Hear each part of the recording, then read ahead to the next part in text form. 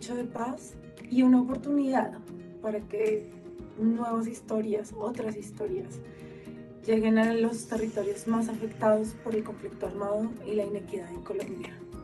Todas y todos podemos ayudar a que la paz se siga escribiendo en el Bajo Cauca, en el Catatumbo, en el Pacífico Nariñense, en el Chocó y en el Guaviare, territorios que sufren graves tragedias a causa de la violencia armada. Únete y dona un libro nuevo o en perfecto estado para que el poder transformador de la lectura llegue a los niños y niñas, jóvenes y adultos de las zonas que más lo necesitan.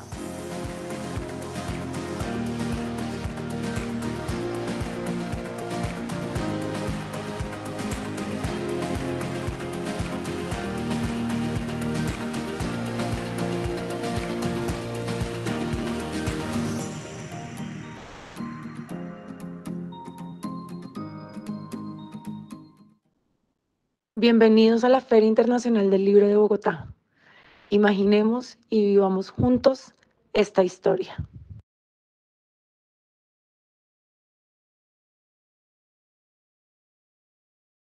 Buenas tardes, bienvenidos a todos los que están conectados. Un abrazo muy grande a, una, se me trabó la lengua, un abrazo muy grande a Sergio Andricaína, Claudia Rueda, amigos de desde que yo era chiquita, y maestros, por ende, maestros de entre libros, imágenes, gracias a la Cámara del Libro, eh, a esta feria del libro, que ha sido un pedacito real, un pedacito virtual, eh, y a Panamericana por, pues, por dejarme eh, hablar hoy con Sergio y con Claudia. Y para abrir esta charla, quiero regalarles una canción sorpresa a todos, porque hoy vamos a hablar de la sabiduría del hogar. A ver si recordamos esa sabiduría. Estaba la pájara pinta sentadita en su verde limón, con el pico recoge la rama, con la rama recoge la flor. Ay, ay, ay, ¿cuándo vendrá mi amor? Ay, ay, ay, ¿cuándo vendrá mi amor? Me arrodillo a los pies de mi amante y le juro ser fiel y constante. Dame la mano, dame la boca, dame un besito. Que sea de tu boca, dar en la media vuelta, dar en la vuelta entera, con un pasito atrás haciendo la reverencia, pero no, pero no, pero no, porque me da vergüenza, pero sí, pero sí, pero sí, porque te quiero a ti.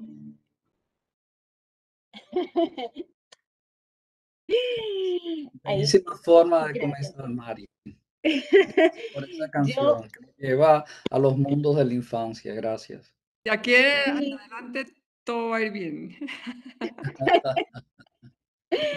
Yo no suelo ser moderadora y menos de unos amigos míos y maestros y yo decía, claro, yo les mandé algo muy serio con preguntas y de pronto dije, eh, esta pandemia nos ha enseñado que la sabiduría del hogar es más sincera que todas esas preguntas y todas esas seriedades que, que a veces nos hacen volvernos tan serios y alejarnos un poco de lo afectivo eh, y de lo que somos.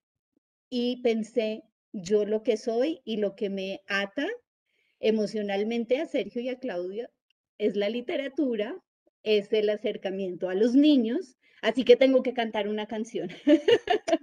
Mejor forma no podía ser para comenzar esta mesa, así que te lo agradezco profundamente. regalo tan lindo, Mara del Sol.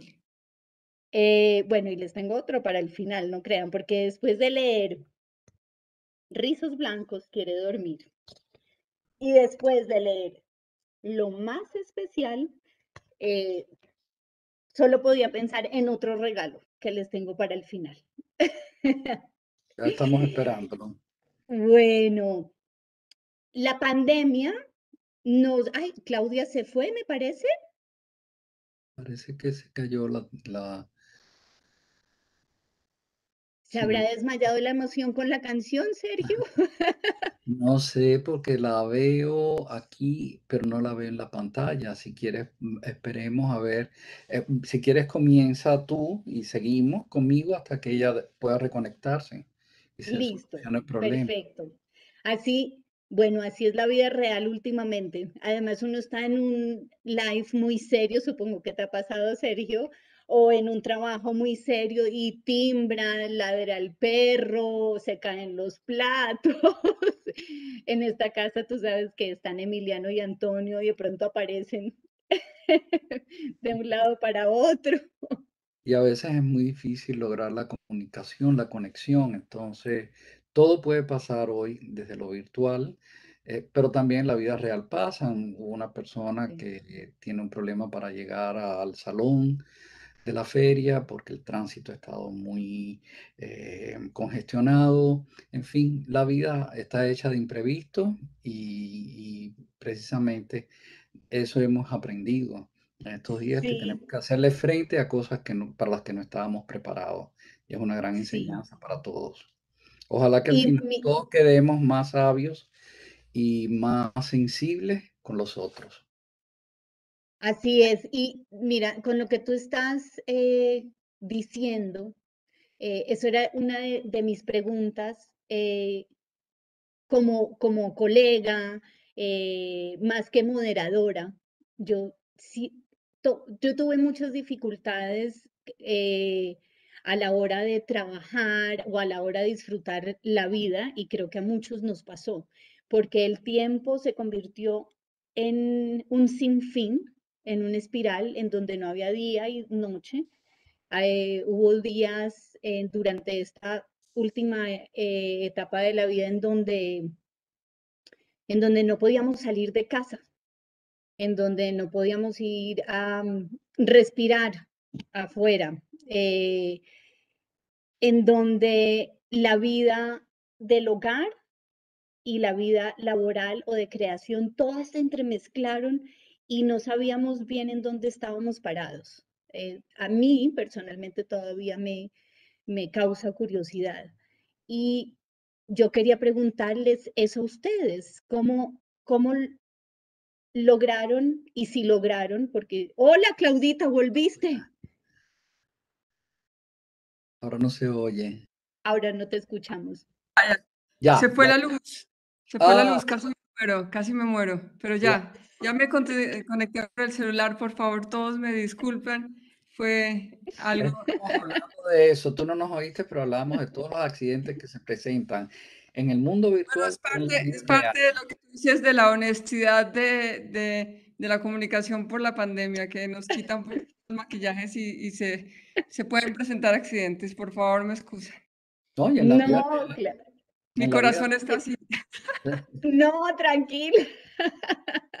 Estábamos hablando precisamente de eso, de, cómo el, todo este tiempo de, encierro en casa, eh, y lo, hago como le estaba diciendo Sergio, como una a manera de, de pregunta entre colegas, porque a mí se me, el tiempo se me volvió una línea interminable no, no hay día, noche, todo eso que cantamos a los niños, del arroz mi niño y sol solecito, ya dejó de existir de un minuto a otro, eh, porque era una vida continua en donde a veces no podíamos salir de casa ni a caminar, ni a respirar.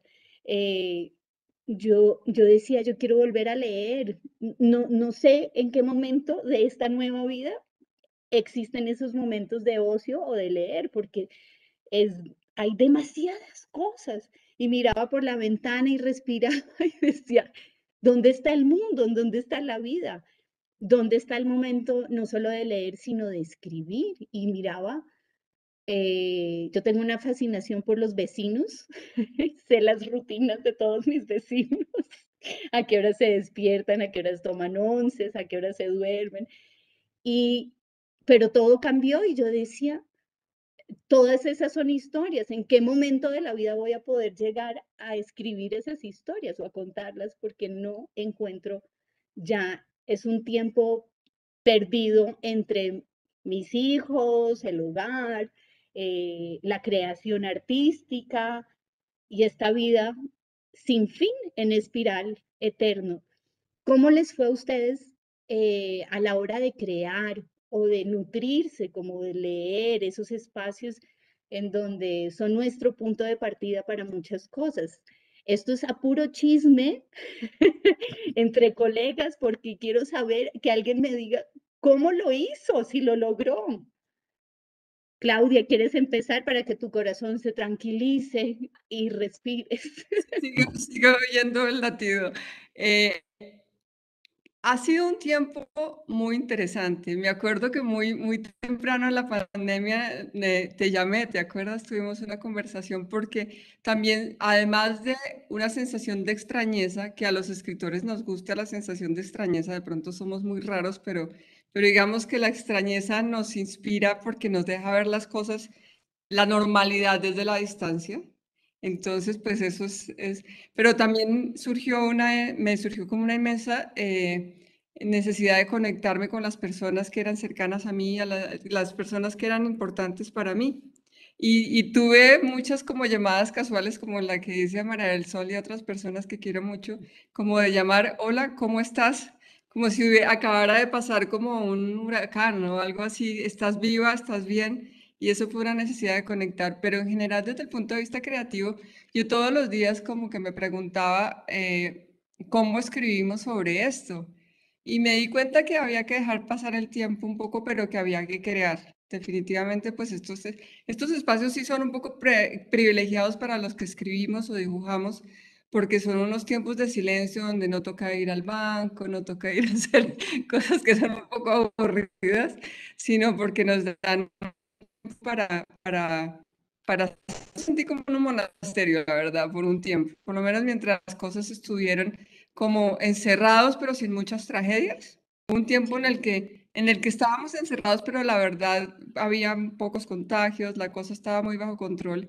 Y ese fue un tiempo en el que, en el que la verdad fue una, una época muy privilegiada. Yo, como para expresar lo que estaba sintiendo, abrí una cuenta en Instagram y empecé a hacer ilustraciones todos los días sobre lo que estaba pensando sintiendo. Y sí, y, mucha necesidad de conectarme sobre todo con las personas de, de, mi oficio, como cómo lo estás haciendo, compartimos a veces, hasta con algunas personas compartimos pantalla y, y, dibujábamos juntas, eh, cosas de ese estilo. Y después, cuando pasó el tiempo, ya, bueno, ya es hora de volverse a poner a trabajar. Y ha sido, pues el, silencio es muy rico para trabajar. Entonces, pues en general, desde el punto de vista creativo, para mí ha sido mm, enriquecedor, me ha llevado a replantear como, como cuando ocurre la muerte de una persona cercana, algo parecido como que uno se replantea muchas cosas, algo así también como que un filtro de lo que es realmente importante, eh, conectar con las personas que uno quiere y hacer los libros que uno siente que son importantes hacer, que uno tiene que hacer y desechar los que hace únicamente por, por pasar el tiempo. Entonces ha sido como, como, como un colador que ha dejado pasar las cosas importantes de la vida y pues esto de conectar con los amigos y de estar haciendo literatura.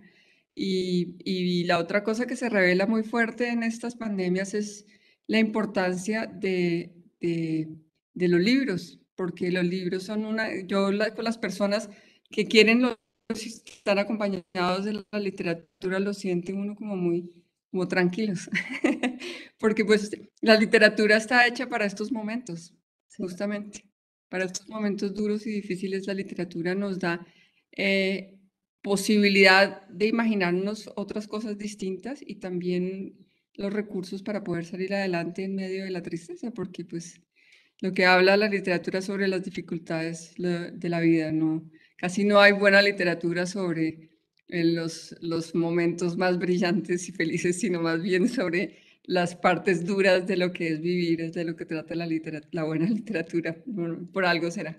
Pero, pero creo que es un momento que debemos, al que le debemos sacar como, como una, una visión de lo que queremos de aquí en adelante y no seguir, tratar de recuperar lo de atrás, sino, sino que esto haya sido una forma de aprender para ser más, más humanos, más cercanos al proyecto humano y no al proyecto animal.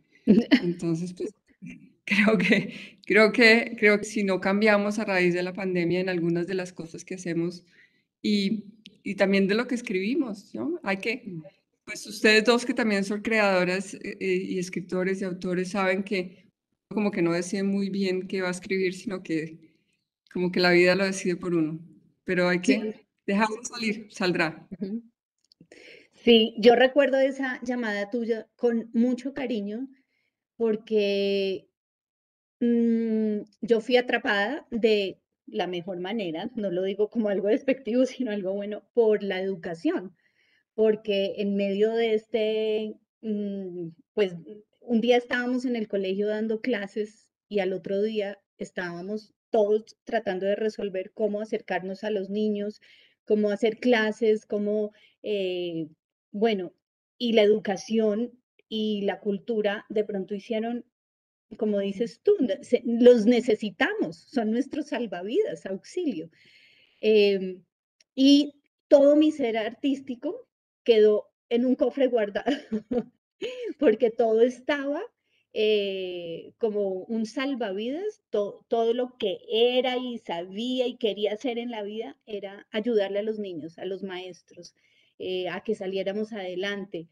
Eh, yo dejé de cantar mis canciones, de hacer mis discos, mis conciertos y todo, porque quería que los libros como los de ustedes, de, de los autores que sabía que estaban ahí en mi biblioteca, como dices tú, podían ayudarlos. No sé si salvarlos porque eso es demasiado, pero sí por lo menos salvar un momento o ayudarles en un momento, regalar, eh, donar, donar. Yo no tenía el poder económico para ayudar, pero sí tenía el arte para poder contribuir. Y tu llamada, me acuerdo que uno me hizo ver que tengo, que, que un pedacito de mío seguía ahí, que estaba guardado, pero que, que yo hacía parte de ese mundo de los libros y que ya iba a volver algún día, pero iba a volver.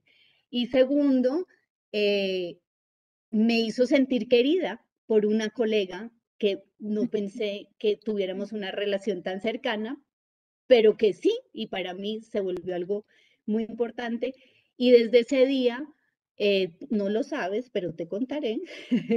comencé, yo estaba desaparecida como un fantasma, comencé a llamar a mis amigos más cercanos para decirles, aquí estoy y los quiero y quiero saber cómo están ustedes.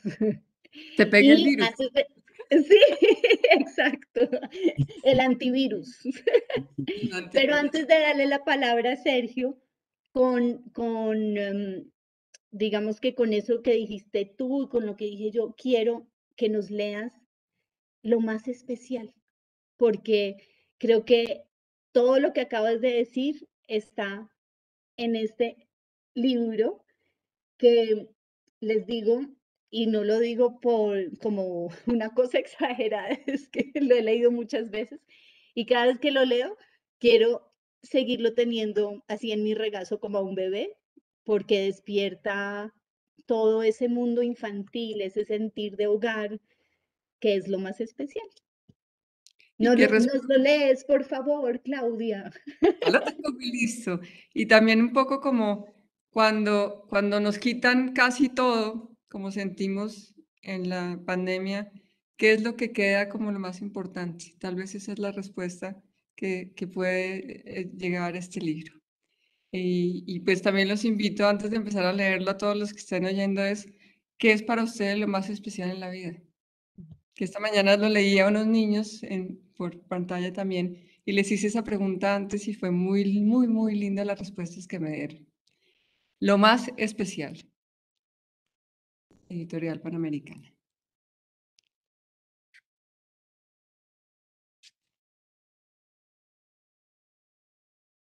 De todo lo que existe en el mundo, adivina qué es lo más especial.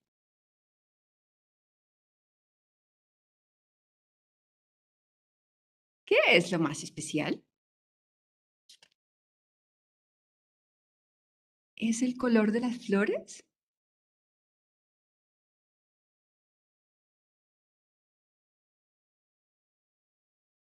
¿Es la comida que nos hace crecer?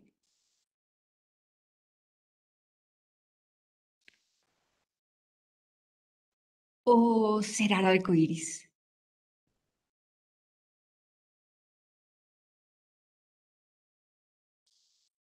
¿Qué es lo más especial?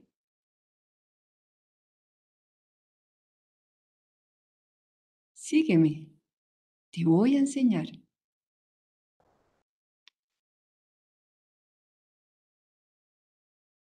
¿Es el viento que nos ayuda a volar?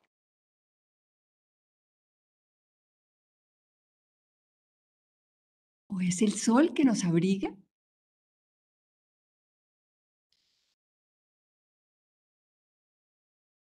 ¿Será el agua que nos refresca?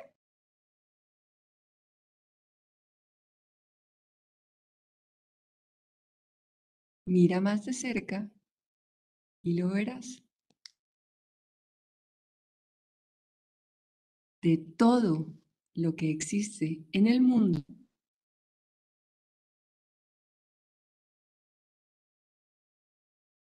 compartirlo contigo es lo más especial. ¡Bravo!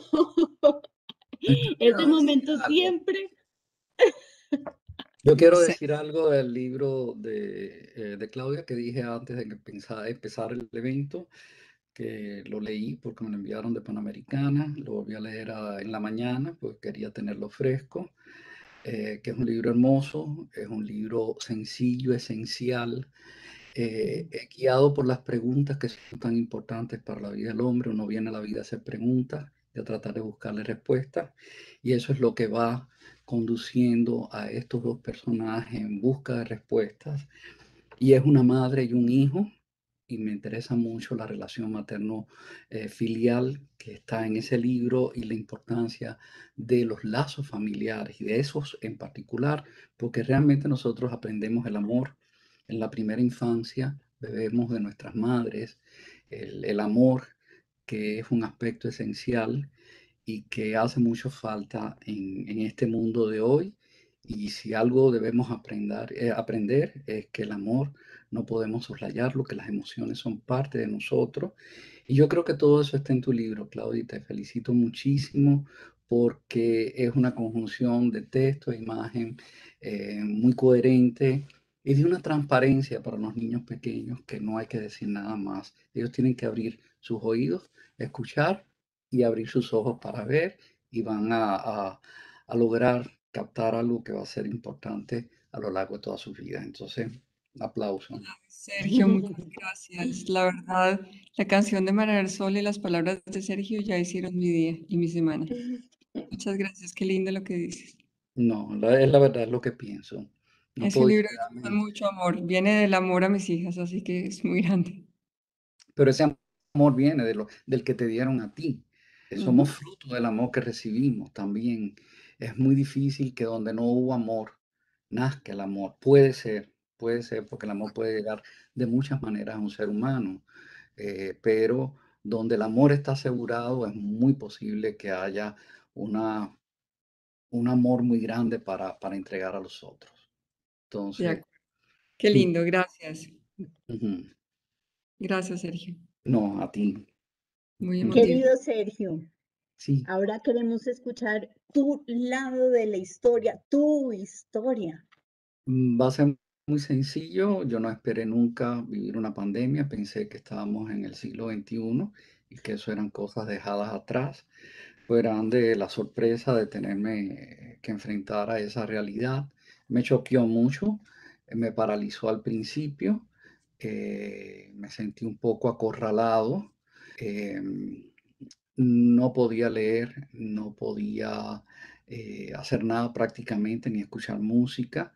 Eh, estaba muy preocupado por las personas, estuve en contacto con algunas, no con todas las que quería. Eh, poco a poco fui llamando a, los amigos para saber qué estaban haciendo. Y lo primero que descubrí es la poesía. O sea, lo único que, lo primero que pude leer fue poesía y empecé a compartir en mi Facebook poemas. Buscaba dentro de la poesía, de los libros de poesía que yo tenía aquí, aquellos que pudieran dar un poco de optimismo, de fe, de esperanza en medio de esta situación. Y cuando, por ejemplo, fue muy, muy interesante que cuando no, no ponía un poema en el día, la gente me decía, me quedé esperando el poema de hoy. Y entonces yo digo, bueno. Yo también me quedaba esperando. cuando entonces, claro, y entonces dije, la literatura sirve para sanar, sirve para acompañar, sirve para poder enfrentar los momentos duros de la vida. Y entonces, eh, no solamente la poesía, la literatura y, la cultura y el arte, sobre todo. Ya al final pude ya abrirme un poco más, pude empezar a leer narrativa, pude oír música, poquito a poco, porque al principio estaba pendiente de las noticias. Y hubo algo que fue muy, muy importante cuando se abrieron todas las posibilidades de las plataformas de, para poder contactar y para poder siguiendo la, para poder seguir viviendo la cultura de otra manera, que era la virtual, pues me pareció extraordinario. Y recuerdo que muy temprano en la pandemia me llamaron de la biblioteca Luis Ángel Arango para hacer una lectura con niños y dije que sí y sigo diciendo que sí a todo lo que me llaman para niños y para, cualquier actividad. O sea, no me niego, no tengo derecho a negarme porque creo que en definitiva los niños son las personas que más lo han necesitado y más lo necesitan en este momento, los niños y los jóvenes. Entonces hice una lectura con ellos que fue precisamente eh, yo no he podido escribir nada nuevo. Empecé un cuento y quizás algún que otro poema, pero no he podido crear. Crear no he podido. Eh, pero sí pude terminar cosas que estaban eh, empezadas, comenzadas, y terminé en medio de la pandemia este libro, Rizos Blanco, Quiere Dormir. Y en esa lectura que hice para los niños de la biblioteca Luis Ángel Arango, yo estaba angustiado porque yo no tenía título. Tenía un título, pero no estaba convencido. Y la gente que le había consultado estaba dividida. Y entonces yo aproveché esa lectura, leí el inédito y les pregunté al final que, cuál de los dos títulos le gustaba más, si el que yo defendía, que definitivamente no fue, o si era el, el, el título que me habían sugerido otras personas y ganó el título que me sugirieron otras personas y yo les prometí a ellos que en el libro iba a tener una dedicatoria, el libro iba a llevar una dedicatoria a todos ellos que me habían ayudado a encontrar el libro y hace a principios de este año volvimos a tener un encuentro y yo les pude mostrar el libro publicado y pude leerles la dedicatoria a ellos que me, me hizo muy feliz. Eh, realmente los encuentros con los niños para mí han sido me han sanado, me han curado, me han aliviado, me han purificado de todo mm. lo que ha significado la pandemia, porque realmente yo creo que todos hemos estado muy golpeados, unos más, otros menos, depende de las características de cada uno y de los problemas reales que tiene que enfrentar. El, el, el golpe es para todos. De ahí para abajo empiezan las vidas personales y, y cómo cada uno asumió este tiempo. Yo he tratado de hacerlo de una manera que, pueda solidarizarme con los demás y cooperar con los demás. Y eso fue. Y entonces, de escritura vendrán. Yo no soy de mucho escribir, o sea, yo no escribo todos los días, escribo cuando de Pascua a San Juan. Y llegará o no llegará no es el problema importante. Quisiera que llegara porque, bueno, me gusta escribir para niños porque creo que es ese granito de arena que uno puede poner en el futuro y también porque eso me hace bien a mí. Entonces, cuando yo escribo un libro, cuando puedo compartir con los niños, yo me siento mejor eh, anímicamente, me siento eh, que me reafirmo como ser humano y que tengo una meta o cumplir en la vida. Entonces, bueno, ya llegará o no llegará, pero si no llega, habrá otras cosas para sonreírle a la vida y ofrecerle la mejor cara. Querido, este libro, yo, pues yo vi que estaba dedicado a Silvia y a Tony. Sí. Y yo casi hago una pataleta como se hace en la primera infancia. por varias razones, no solo por una. Por una parte, yo decía, ¿por qué? Porque yo nunca escribí un cuento como este. sí. es un tema que a todos los adultos nos, pues no, nos molesta tanto. No voy a decir de qué se trata porque quiero que tú lo leas con tu voz. Eh, porque yo lo leía y yo solo escucho entre tu voz y la de Antonio. Es una, tengo una mezcla. Y, y, por otra parte, yo decía, mmm, Sergio, Sergio, ese libro era para mí, no era para Tony. Bueno, la, si hay en otra edición, pues nada, ya yo sé que también puede ser para ti un libro que toque el tema del insomnio. Pero es que yo creo que eh, en, en, en, este momento en particular y además en, en la adultez es un tema, eh, es un tema muy fuerte entre nosotros y cada página, yo pasaba una página y pasaba la otra y decía, yo pasé por esto. Yo pasé por todo esto me lo dijeron amigos, médicos, hice todo. y de todas maneras, dormir durante esta época y en algunos momentos eh, es difícil. Mm. Así que yo quiero que nos cuentes para que todos nos sintamos, estoy segura que Claudia también se siente plenamente identificada. Mira, me gustó tanto el libro que les voy a confesar una cosa. A mí me los mandaron de Panamericana. Y claro, eh, yo los tenía, los leí, los publiqué en redes, qué felicidad. Y ayer cuando eh, dije, voy a volver a leerlos, como tú, para tenerlos frescos en mi cabeza, ¿qué se hizo rizos blancos? ¿Dónde están mis rizos blancos? ¿Dónde están mis rizos blancos? Pues se lo había regalado a alguien a un amigo especial que estaba teniendo estos mismos problemas y tuve que salir corriendo por mis rizos blancos.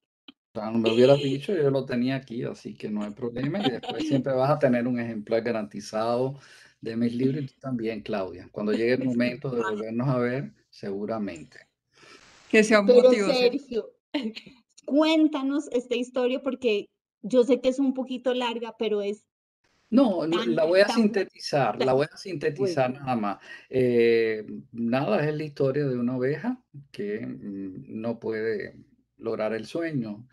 Eh, y bueno, está dedicado a Silvia, a Tony, porque Silvia es mi hermana, Tony es mi gran amigo, mi compañero de viaje. Eh, y entonces padecen de insomnio y un insomnio que casi nunca logran salir de él, ni con pastillas, ni con nada. Y entonces, pues nada, un día pensé, bueno, ¿qué pasaría si una ovejita eh, del corral eh, padece insomnio y quiere dormir y no puede dormir? Y entonces eh, ella va recorriendo a, las amigas, a la tía, a la madre, hasta que al final las abuelas, que son las mujeres más sabias, le dan un consejo. Todas le van dando consejos, pero nada remedia el insomnio de rizos blancos, hasta que la abuela le dice, ¿y por qué no pruebas esto? Y bueno, nada. Ella lo prueba y ya al final pues se sabrá si se durmió o no se durmió rizos blancos. Es una historia que yo quería que tuviera eso de, de, la importancia de la familia, de los amigos y de, de las mujeres sabias como las abuelas para ayudarnos a enfrentar problemas de la vida real, cotidiano, a veces pequeñitos, pero que tienen una trascendencia después muy grande. Entonces, era eso lo que yo quería y, bueno, jugar con, con aquello que te recomiendan siempre como ser humano, como niño, como adulto, cuando tú estás y dices, no, es que no he podido dormir, y te dice, cuento ovejas. Pues bueno, pues ahí está la clave del cuento. Bueno, y como yo tengo una obsesión sonora con, la musicalidad de las palabras, eh, estoy, estoy esperando que esos versos del final se conviertan en canción. Bueno, son todos tuyos. Ya una vez que están publicados, son de, que, de aquel que los quiera. Sí. Voy a leer solo un, un pedacito de estas palabras. Primero llega José saltando en un solo pie. De segundo, Anacleta subida en su bicicleta. El tercero, ese es Manuel con su tinaja de miel. De cuarto viene Agustina, envuelto en una chalina. El quinto llega, en quinto en llegar, Fernando, parece que está bailando. El sexto en pasar es Lino, que mordi, mosdis, ay, mosdisquea un pepino. Y así, sí, y así sigue. Y, y, lo otro que me, que me, esta mañana volví a leer Rizos Blancos, volví a leer el, el, de Claudia y em, comencé a, a, leérselo a Antonio y, y él estaba resolviendo algo de un videojuego que los videojuegos para los niños de hoy en día son como, tienen como un altar. Pero quiero contarte que comencé, solamente dije, érase una vez, no hace mucho tiempo, una oveja llamada rizos blancos, que luego de hacer lo que suelen hacer las ovejas, comer pasto, Antonio olvidó los videojuegos, porque eh, en la pandemia, él también, como muchos niños y muchos jóvenes, sufrieron de insomnio y tenía mucha angustia por no poder dormir, por no, no, poder conciliar el sueño, no poder conciliar esa paz, eh, ese momento de tranquilidad, porque precisamente en esa línea del tiempo que se perdió, y en esas noticias que todos estábamos atentos, eh, en ese, en el encierro de los niños, mm, en vez de estar jugando y estando con amigos, de pronto estaban ahí atrapados por el tiempo, por algo que nunca pensamos vivir, como dice Sergio. Eh, estamos en este siglo, una pandemia, no, no es posible. Además, algo, y yo pensaba en todo, decía, ¿cómo pensarán los niños? Es una sopa de murciélago, eso es lo que está como en el imaginario. Alguien que se comió un pedazo de murciélago, que vive tan lejos, en otro país lejano, como en otro, en, en otro tiempo además y espacio, nos llega a afectar a nosotros. Entonces, creo que estos niños, así como en los cuentos de hadas y en esas historias que ustedes mismos escriben, sin tiempo, sin que uno no sabe que es real, que es ficción, ¿cómo será, cómo creen ustedes que esta pandemia va a afectar ese imaginario de los niños? ¿Cómo van a ser unos niños, unos jóvenes distintos? Es una primera infancia distinta son unos bebés distintos a los que casi no, podemos tocar. estamos detrás de los bebés, están acostumbrados a ver a sus abuelos, a sus papás detrás de unas caretas y ya no pueden, ah, ya no pueden aprender a hablar mirándonos.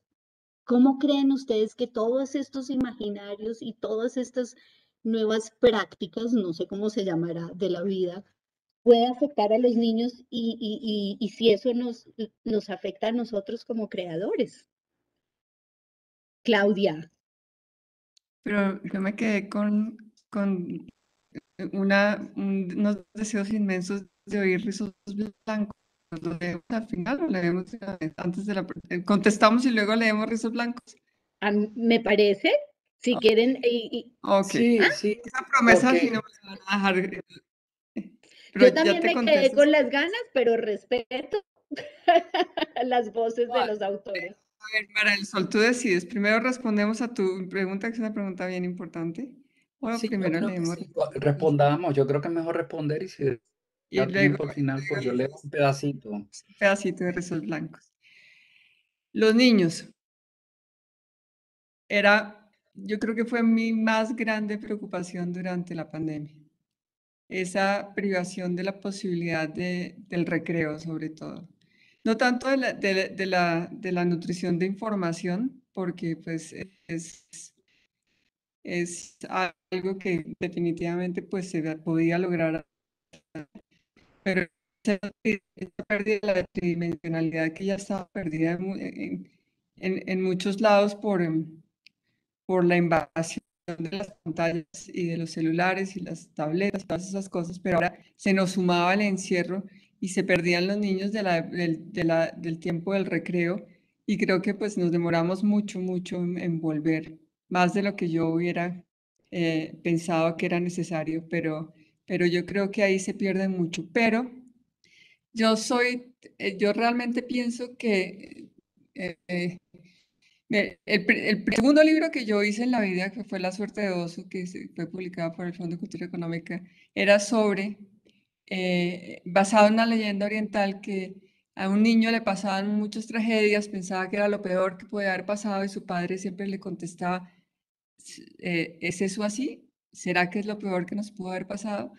Y, siento que... Eh, pues digamos que las dificultades son oportunidades y siempre trato de que eso, de que eso sea así. Por ejemplo, ah, la posibilidad de los niños de estar cerca de la familia, que en muchos casos debió ser un infierno para los niños, desafortunadamente, pero también esa, esa, esa manera de ver una, una práctica que yo tuve todos los, todos los días de encierro, pues, y eso lo tomé de alguien más, tal vez era como una charla de de, algún practicante de budismo o algo así, no me acuerdo ahora qué.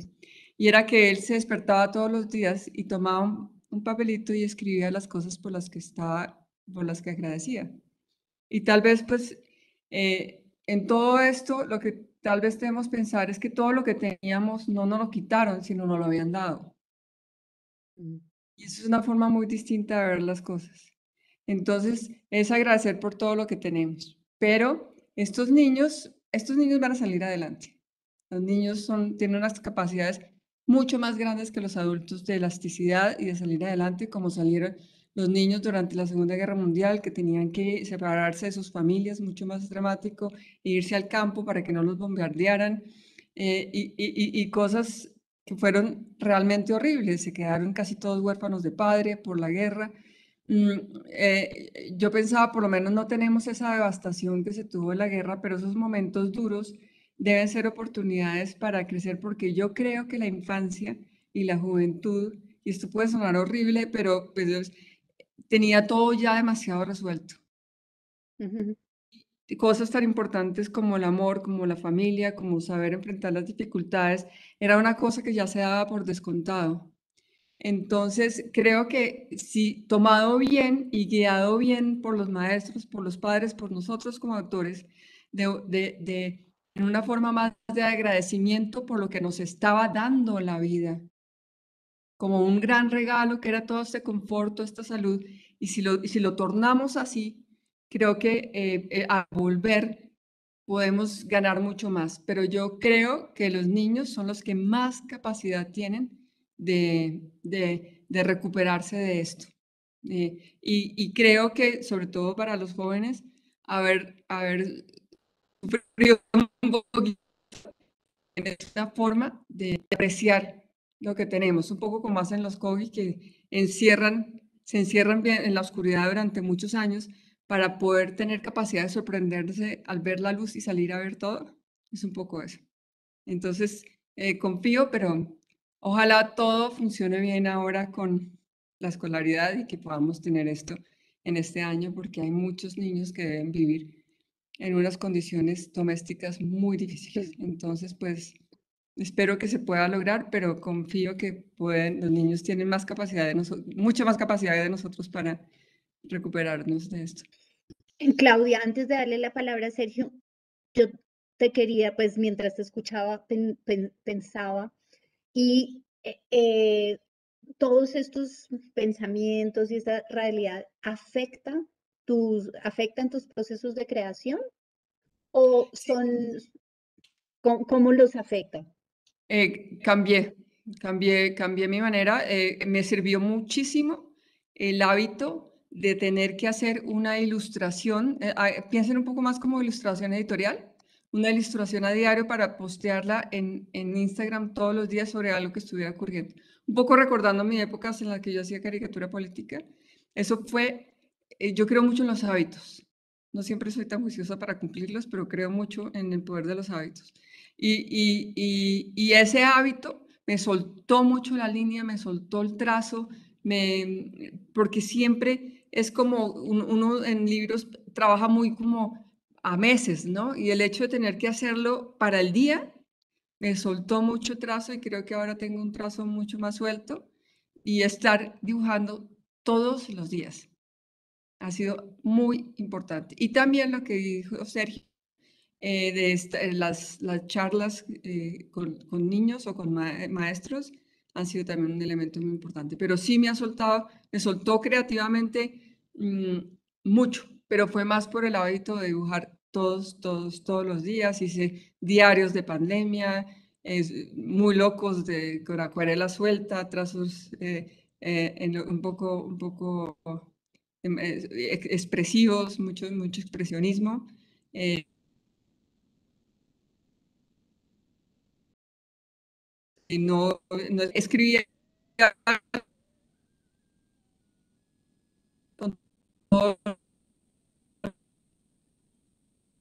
Claro, parece que la red de Claudita otra vez se fue. Eh, pero mm, bueno, ya estamos llegando al final. Entonces, Sergio, cuéntanos sobre, sobre, tu... Claudita, ¿aló? Clau bueno, te doy la palabra. Eh, Hola, Claudia, apareciste. No, no te preocupes. No se te oye.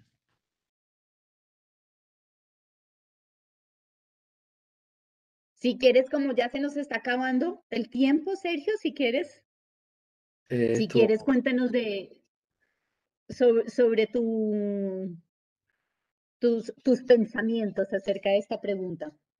No, yo pienso igual que Claudia, yo creo que los niños tienen una capacidad para eh, reformularse, renovarse. Eh, quienes hemos estado cerca de los niños sabemos que es así. Usted, tú que eres profesora, eh, lo sabes mejor que yo. Yo confío mucho en que ellos son están en formación y que van replanteando todo y que tienen una capacidad similar eh, y, de crecer. Eh, yo creo que eh, me preocupa, digamos, mm, porque no todos los niños pueden tener acceso a las clases a través de lo virtual. Pienso en muchos niños que están en la geografía del mundo donde no hay internet, donde no hay pantalla. Esos niños están pues fuera del de, las posibilidades de recibir la educación. Entonces, eh, si había una escuela rural, yo no sé hasta qué punto una escuela rural, por ejemplo, en lo más remoto de la selva colombiana, tendrá la señal para que el profesor pueda explicar. Eh, eh, pero considero que, bueno, el ser humano siempre se ha crecido ante las dificultades y yo creo que la pedagogía y la enseñanza tiene que plantearse esos retos de cómo resolver lo que no, lo que faltó en este tiempo para que los niños no pierdan las posibilidades que siempre se habla de eh, darle a todos los niños para crecer y para hacer un mundo mejor. Entonces, y los niños yo creo que pueden lidiar con este dolor. Por eso a mí me llama mucho la atención a veces cuando he hablado sobre los temas en la literatura infantil y digo que no hay tema prohibido, que eh, en definitiva la vida está ahí y ahora esto lo demostró. La vida llegó y nos arrinconó y hemos tenido que hacerle frente y los niños han tenido que hacerle frente y han vuelto a jugar y han vuelto a reírse, igual que lo hemos hecho nosotros en algún momento. Entonces, eh, yo tengo eh, mi esperanza depende de la fe. Yo cuido más la fe que la esperanza y tengo fe en que, eh, eh, en que las cosas van a cambiar, que volveremos a reconstruir este mundo y que volverá entonces la esperanza a dibujarnos sonrisas en, en, los rostros y en los niños lo doy por descontado. Los niños siempre van a reír, los niños van a llorar y después van a reír. Entonces, somos los adultos los que tenemos que plantearnos cómo resolver los problemas, que, las lagunas y las dificultades y, realmente dibujarnos, pero que salga de adentro una sonrisa que podamos transmitirle a los niños y les dé confianza en el mundo de mañana. Entonces, nada, era, es lo que yo pienso eh, y es una tarea que todos los días trato de proponerme. A veces soy más, me siento más seguro, hay días en que no estoy tan seguro, pero ahí está la fe para apoyarme en ella. Entonces, que es una fe que no es religiosa, claro, es una fe, una confianza que va más allá de lo que yo conozco y de las palabras y que no tiene nombre. Y como Claudia y yo, y sé que muchos de los que están conectados viéndonos, tenemos la misma fe que tú, queremos escucharte un poquito sobre rizos blancos. Bueno, voy a leer, yo no, no me conozco mi, mi texto, no lo tengo aquí en pantalla, no lo puse, pero bueno, lo voy a leer y voy a mostrar las ilustraciones. Eh, tiene una dedicatoria que dice para Silvia y Tony, a quienes les cuesta trabajo dormirse casi todas las noches. una segunda dedicatoria para los niños que participaron conmigo en el encuentro virtual convocado por la Biblioteca Luis Ángel Arango el 11 de abril del 2020 para ayudar, por ayudarme ese día a escoger el título del cuento. Y empieza así. Érase una vez, no hace mucho tiempo, una oveja llamada Rizo Blanco, que luego de hacer lo que suelen hacer las ovejas, pasto, beber agua, comer más pasto, bañarse muy de cuando en cuando, de nuevo comer pasto y dejar que la lana les crezca muchísimo, se fue a dormir. Sin embargo, después de poner, aquí está, sin embargo, después de poner su cabeza sobre la almohada, rellena con hojas de menta y flores de lavanda, no sucedió lo de siempre, se quedó despierta. Entonces empezó a repetir para sus adentros, tengo que dormirme, debo descansar, debo descansar, tengo que dormirme. Pero así todo, el sueño no llegó y se pasó la noche en vela. Al día siguiente, cuando se reunió con el rebaño, se sentía cansada y tenía unas enormes ojeras. Rizos Blanco se acercó a su amiga Lanuda y le contó sobre su insomnio de la noche anterior. Tras masticar pensativamente unas brisnas de hierba, la nuda le aconsejó, seguro que comiste mucho antes de irte a la cama, querida. Hiciste, y hiciste una digestión muy lenta. Hoy deja de comer cuatro horas antes de acostarte y verás que duermes enseguida. Y eso mismo hizo Rizo Blanco. Pero ¡Bravo, Sergio! Otros episodios eh, con esos personajes, vuelvo a decir, eh, yo, no, yo no escribo las historias con, consciente de lo que estoy escribiendo, sino que después cuando lo leí me di cuenta que sí estaba celebrando el hogar y que de alguna manera por eso reconecté con la escritura, con este cuento, porque celebraba el hogar y la calidad, eh, la calidez de los afectos y la necesidad de, eh, de los otros que tenemos, que era lo que estábamos viviendo. Entonces, pero eso lo pensé después yo escribí la historia y punto, estaba empezada a medio camino y la terminé en tiempos de... en estos tiempos difíciles es raro porque a mí me cuesta mucho trabajo todavía utilizar la palabra pandemia. Entonces, en estos tiempos difíciles y retadores. Sergio, no hay nada mejor que escuchar a un autor leer sus propias palabras. Y, y si yo tenía en mi corazón rizos blancos, ahora voy a dormir con estos dos libros. Ay, miren, yo tenía otros libros de ustedes porque tenía muchas preguntas preparadas. También tenía veces, bueno, acá tengo varios. Y lo más Quiero especial... nada más una cosa ah, ya para yo cerrar. Yo no vuelvo a hablar si quieren. Pero lo único que quería contar que estos tiempos también han sido buenos y por eso me parece tan bueno tu libro para volver a lo esencial. Si no volvemos a lo esencial, vamos a volver a perdernos. O sea, yo creo que deberíamos aprender, eh, todas las personas que hemos compartido este tiempo difícil, qué es lo importante en la vida y replantearnos un poco la existencia. Porque si nos quedamos aferrados a lo mismo, lamentablemente los adultos, de nuevo uno ve que se están aferrando a lo, a lo anterior. Y yo creo que es tiempo de desprendernos, de renovarnos, se nos dio una posibilidad yo creo que hay que aprovecharla.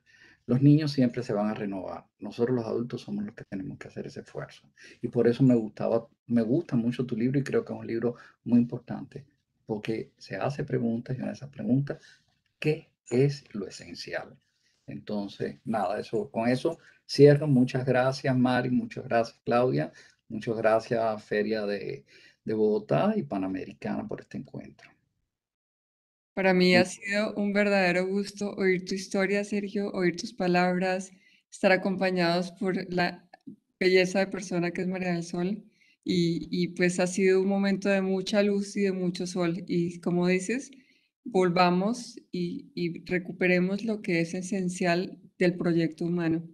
¿Y por qué estamos aquí? Es por el amor, por el hogar, esa palabra tan, tan, tan, tan grande, el hogar es el refugio, como el no el sitio para llenar de electrodomésticos, sino el refugio para resguardarnos de las tormentas como la que acabamos de pasar o aún estamos pasando.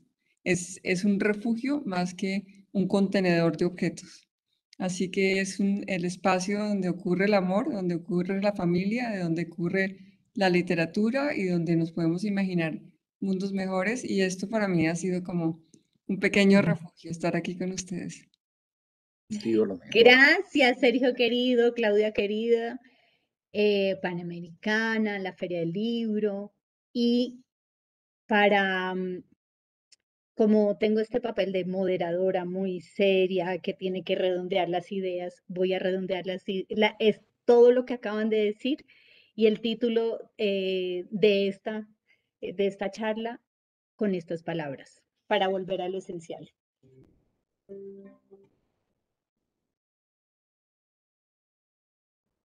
A ver si con esto las ovejitas logran dormir, abrazado con su ser más especial. Arrorro mi niño, arrorro mi sol, arrorro pedazo de mi corazón. Este niño lindo se quiere dormir, cierra los ojitos y los vuelve a abrir. Este niño lindo que nació de noche quiere que lo lleven a pasear en coche. Este niño lindo te quiere dormir. Cierra los ojitos y los vuelve a abrir. Hasta mañana, Sergio. Hasta mañana, Claudia.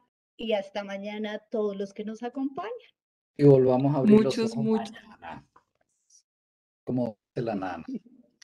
Chao, muchas gracias. Gracias, Felipe. Estaba en la guitarra.